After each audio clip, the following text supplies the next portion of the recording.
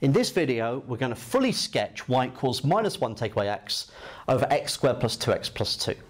So this means I want to find any vertical asymptotes, horizontal asymptotes, um, points where it crosses the x-axis and y-axis, and any stationary points. Okay?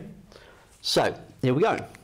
First thing to do, can we factorise that denominator? x squared plus 2x plus 2.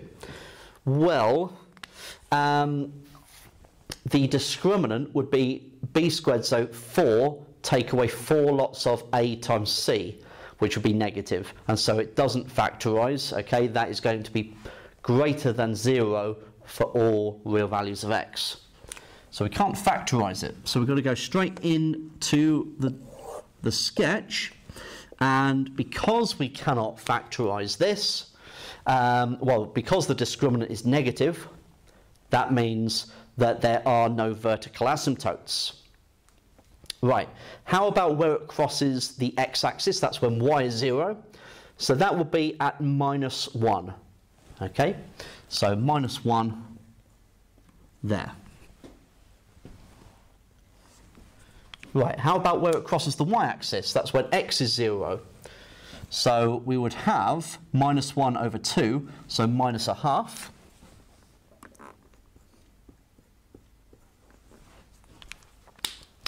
And how about a horizontal asymptote? Well, the numerator is a polynomial of degree 1, and in the denominator it's order 2, and so uh, y equals 0 will be a horizontal asymptote. So the x-axis is a horizontal asymptote here.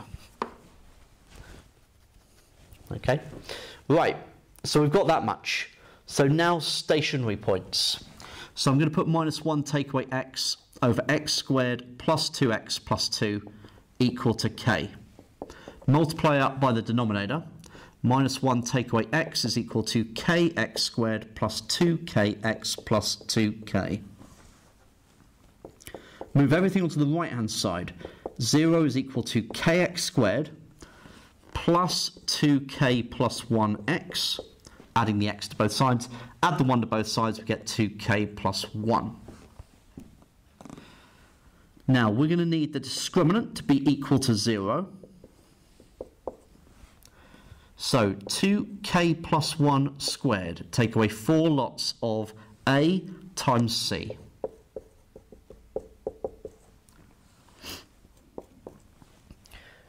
Now, I could expand the brackets here, or I could do a sneaky factorisation, because I've got the 2k plus 1 as a common factor. So this is quite a rare occurrence, so might as well take use of it.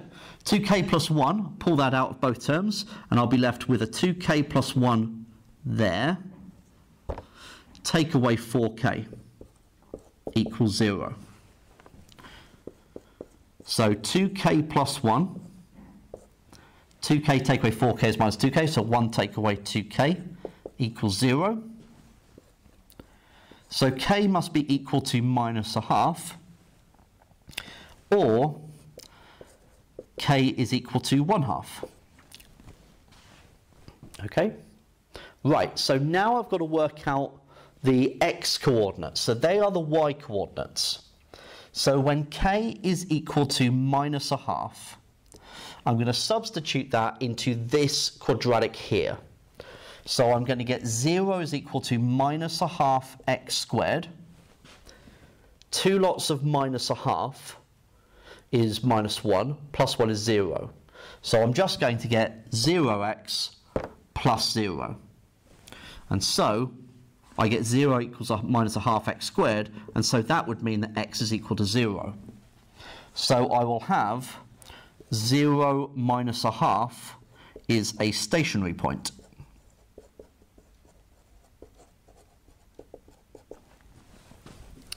Right, when k is a half, I get 0 equals 1 half x squared, so substitute in here.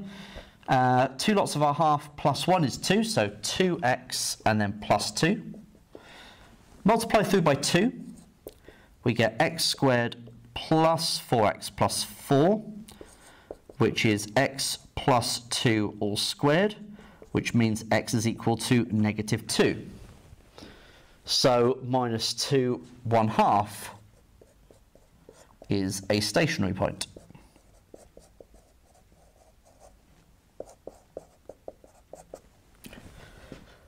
So we've got the minus 2, 1 half, uh, which is going to be somewhere like there.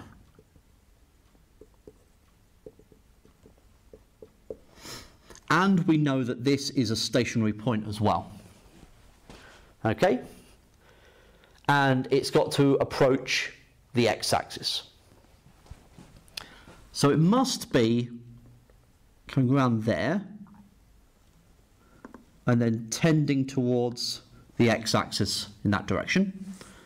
And then coming through there, stationary, background, and approaching the x-axis from that direction. Okay? And so that must be the shape of my curve.